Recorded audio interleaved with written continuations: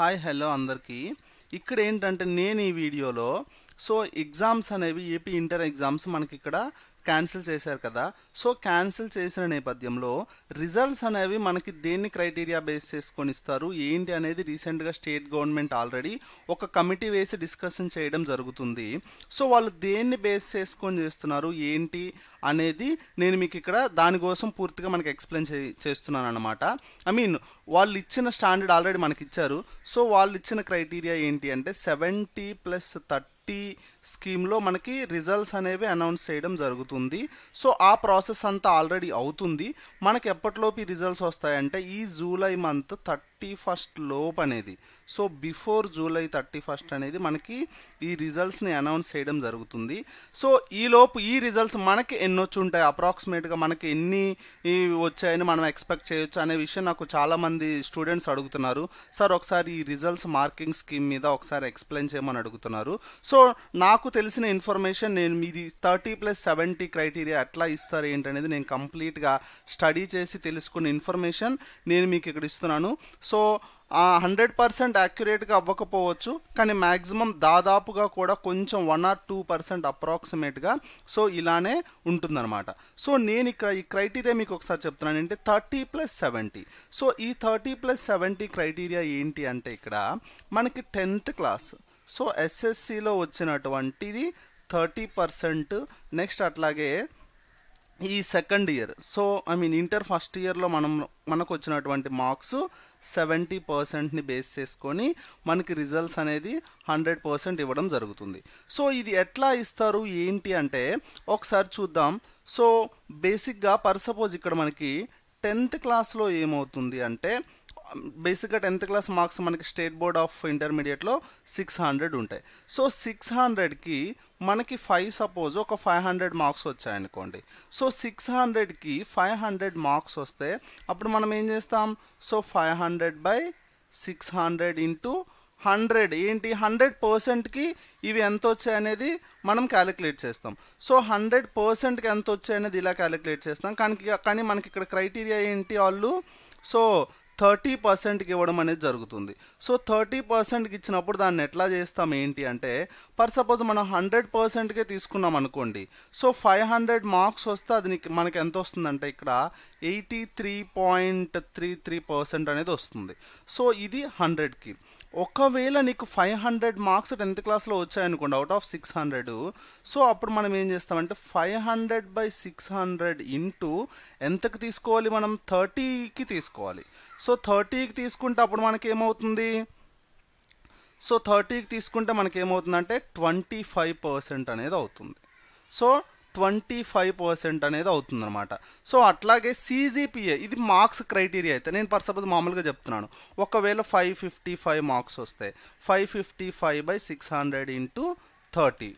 అంటే అప్పుడు మనకి ఏమవుతుంది five fifty five by six hundred into thirty అంటే ఒకసారి so twenty seven point seven five percent అనేది వస్తుంది. సో ఈ పర్సంటేజ్ని ఫస్ట్ ఇట్లా పెట్టండి. దీన్ని మళ్ళీ మన సెకండ్ ఇయర్ రిజల్ట్స్కి ఎలా యాడ్ చేస్తామనేది నేను చెప్తాను.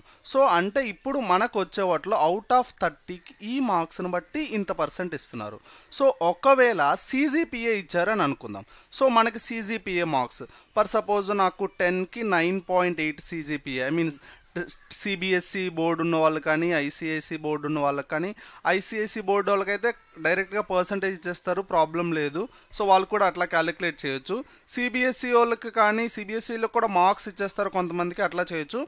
ఒకవేళ CGPA nine point eight CGPA వచ్చాయనుకోండి. So దీన్ని పర్సంటేజ్లోకి ఎలా కన్వర్ట్ చేయాలి? అవుట్ ఆఫ్ థర్టీ పర్సెంట్ దీన్ని మనం ఎట్లా కన్వర్ట్ చేయగలుగుతాం? సో ఒక్కసారి ఈ క్యాలిక్యులేషన్ చూడండి నేను చెప్తాను. సో నైన్ పాయింట్ ఎయిట్ వచ్చాయి మనకి టెన్త్ క్లాస్లో so out of ten points so కాబట్టి సో ఇది ఎంత వస్తుందనేది చూస్తాం మనం.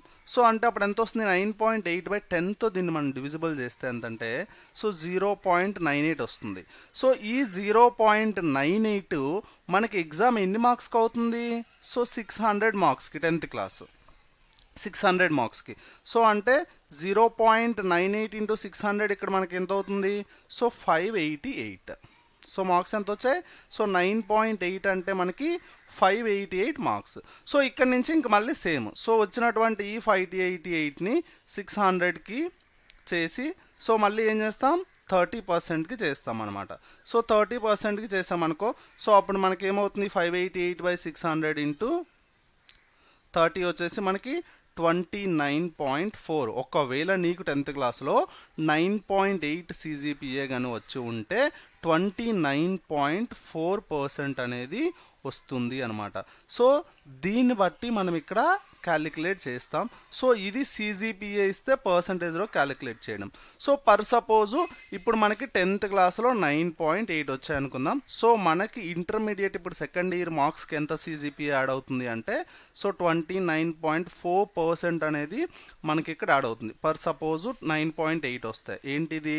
టెన్త్ క్లాస్ సో నెక్స్ట్ అట్లాగే intermediate first year marks so intermediate first year marks కూడా సేమ్ అట్లాగే. సో ఇంటర్మీడియట్ ఫస్ట్ ఇయర్లో పర్ సపోజ్ ఫోర్ సెవెంటీకి అవుట్ ఆఫ్ ఫోర్ సెవెంటీ నీకు ఒకవేళ ఫోర్ ఫిఫ్టీ మార్క్స్ వచ్చాయని అనుకుందాం. సో ఫోర్ ఫిఫ్టీ మార్క్స్ వస్తే దీన్ని మామూలుగా దేనికి క్యాలిక్యులేట్ చేస్తాం? హండ్రెడ్కి క్యాలిక్యులేట్ చేస్తాం. కానీ ఇక్కడ దేనికి క్యాలిక్యులేట్ చేయాలి అంటే సెవెంటీకి క్యాలిక్యులేట్ చేయాలి. సో సెవెంటీ పర్సెంట్కి క్యాలిక్యులేట్ చేస్తే అప్పుడు ఎంత వస్తుంది? So four fifty by four seventy into seventy percent calculate చేస్తే sixty seven point zero two percent వస్తుంది. సో ఇంతకీ సెవెంటీకి sixty seven point zero two percent వస్తుంది. సో ఓవరాల్గా ఇక్కడ నీకు తీసుకుంటే ఫస్ట్ సెకండ్ ఇయర్లో ఆల్రెడీ ఇంటర్నల్స్ ప్రాక్టికల్ మార్క్స్ ఉన్నాయి. సో ప్రాక్టికల్ మార్క్స్ అందరికీ ఫుల్ మార్క్స్ క్రైటీరియా కింద కౌంట్ చేశారు.